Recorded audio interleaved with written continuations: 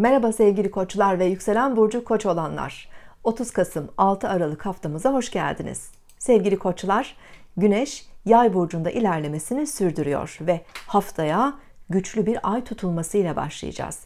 30 Kasım'da 8 derece ikizler burcunda dolunayla beraber ay tutulması meydana gelecek ve bu tüm haftanın enerjisini de güçlendiriyor. Ay tutulması ile ilgili detaylı bir video hazırladım. Henüz izlemediyseniz Astrofoni Demet Baltacı YouTube kanalındaki ay tutulması videomuzu izleyebilirsiniz.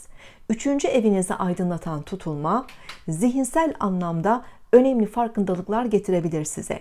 Tutulmalar genelde büyük plandaki genel resmi şöyle bir e, çizer ve duygusal dünyamızı özellikle ay tutulmaları duygu dünyamızı çok daha fazla etkiler. Ve hayatımızda bazı kararlar vermemiz, bazı tamamlama, tamamlanmalar, sonlanmalar olması mümkün. Özellikle e, yaz aylarından bu yana devam ede gelen bazı konular hayatınızda şöyle bir netleşebilir. Bu bir eğitimle ilgili bir konu olabilir, ticari bir faaliyet olabilir, yakın çevreniz, akrabalarınız, kardeşlerinizle ilgili bir mevzu olabilir. Buralarda önemli farkındalıklar edinmeniz, bazı dönüşümlerle karşılaşmanız mümkün görünüyor.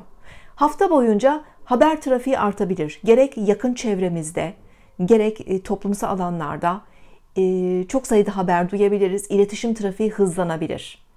Genelde ticari konular, eğitimle ilgili konular, her türlü iletişim alanında da bazı önemli dönüşümlerle karşılaşmamız mümkün görünüyor. Hemen hafta başı itibariyle Merkür artık Yay burcunda ilerlemeye başlayacak. 21 Aralık'a kadar Merkür Yay burcunda olacak. Bu hayata biraz daha iyimser bakmamıza neden olabilir ee, biraz daha e, büyük plana odaklanabilir, büyük resmi görmeye çalışırız, daha vizyoner olabiliriz, hayallerimize, amaçlarımıza odaklanmamız mümkün.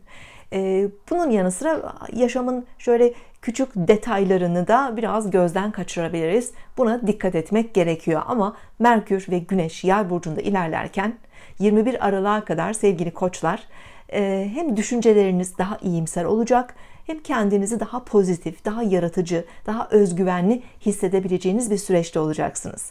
Pazartesi ve salı Ay ikizler burcunda dolunayın en güçlü olduğu zamanlar. Çarşambadan itibaren ise Ay Yengeç burcuna geçecek. Cuma öğle saatlerine kadar biraz daha özel yaşamımıza, ev hayatımıza, ailemizle ilgili konulara duygusal olarak biraz daha odaklanabiliriz.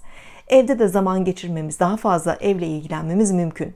Cuma öğle saatlerinden itibaren ise Ay Aslan burcuna geçecek. Hafta sonu Ay Aslan burcunda yine bizi özellikle e, duygusal ve romantik konularda biraz daha beslerken sosyal hayatımızın da canlanmasına imkan verebilir. Sevdiğimiz kişilerle birlikte olmamız, aşk hayatımızda bazı özel gelişmelerin olması, çocuklarımızla ilgili faaliyetlerinde yine hafta sonu belirleyici olması mümkün görünüyor. Sağlıklı ve mutlu bir hafta dilerim. Hoşçakalın.